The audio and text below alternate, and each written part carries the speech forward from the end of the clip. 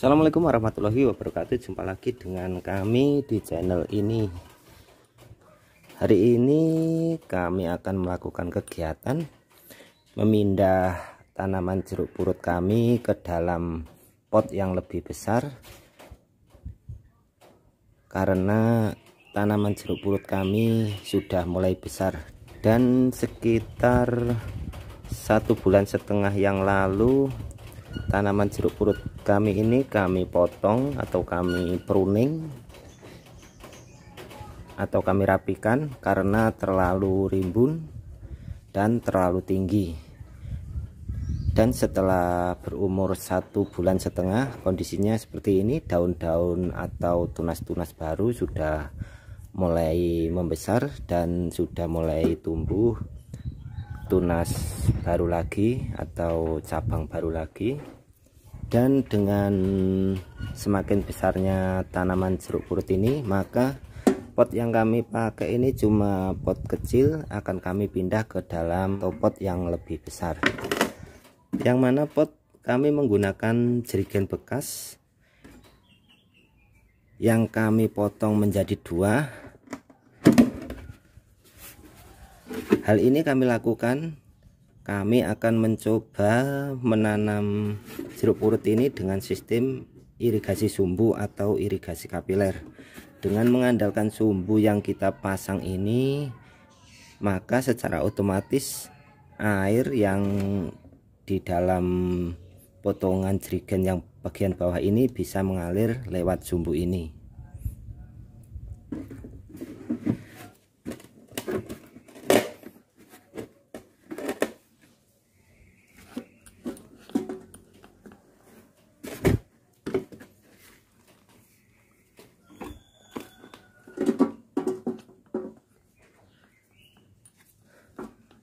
Tapi sebelumnya kami ucapkan terima kasih untuk teman-teman yang sudah menyimak video kami yang baru bergabung.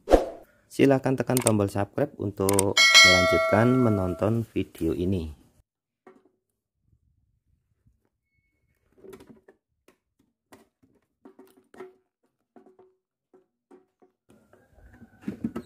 Sekarang kami tambah dulu media tanam setelah itu akan kami lakukan pemindahan tanaman jeruk purut kami.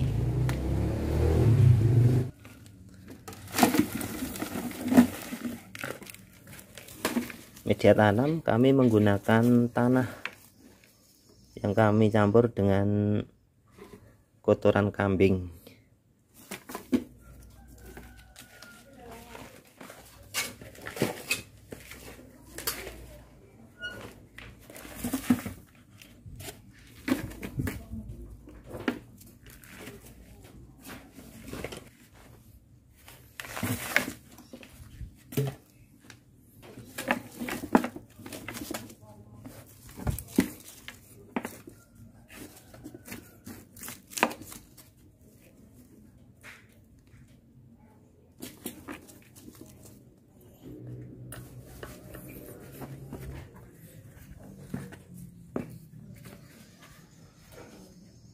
tapi sebelumnya untuk melakukan perawatan rumput-rumput yang tumbuh di sekitar tanaman jeruk purut ini sebaiknya dibuang dulu karena ini mengganggu atau juga menyerap nutrisi yang ada pada media tanam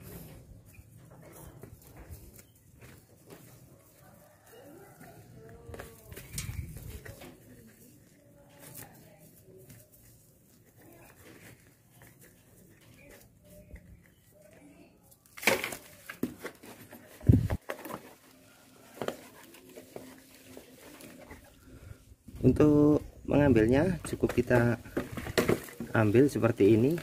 Lalu kita pindah ke dalam pot yang baru.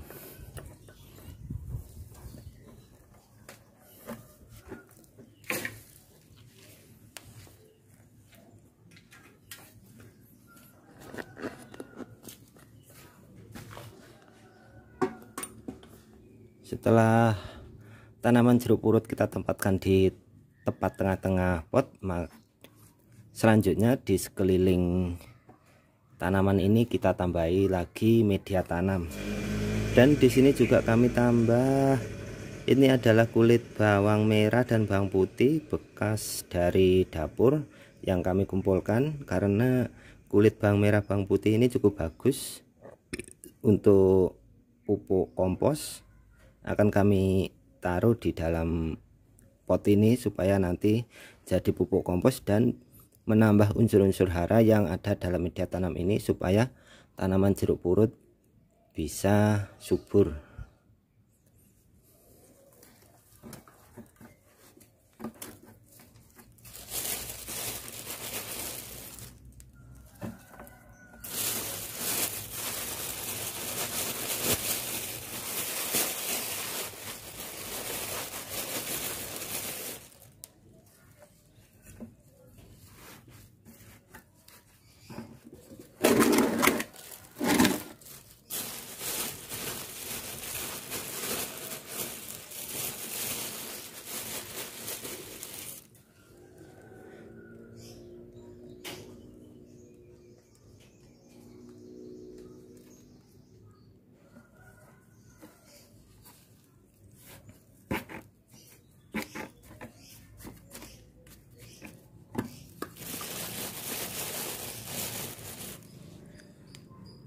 dan di sini juga kami tambah ini adalah kulit bawang merah dan bawang putih. Yang air rendamannya saya yang air rendamannya kami gunakan untuk pupuk organik. Dan ini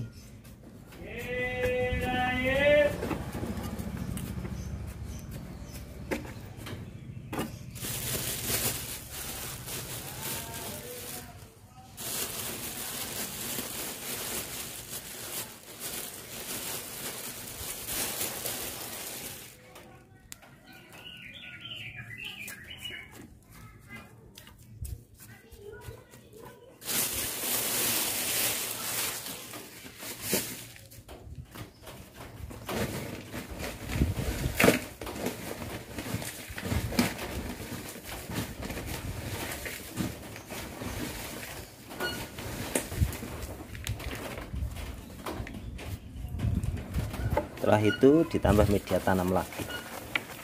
Sampai penuh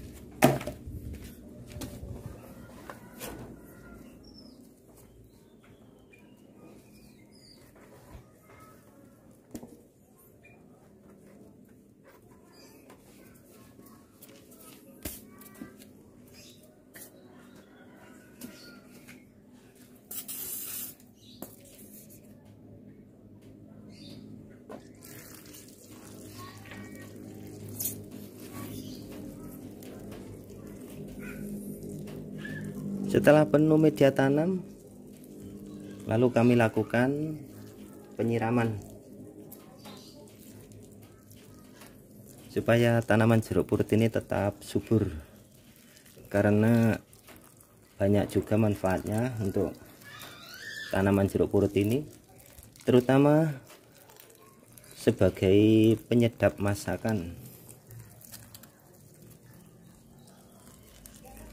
juga bisa dibuat campuran membuat peyek atau rempeyek.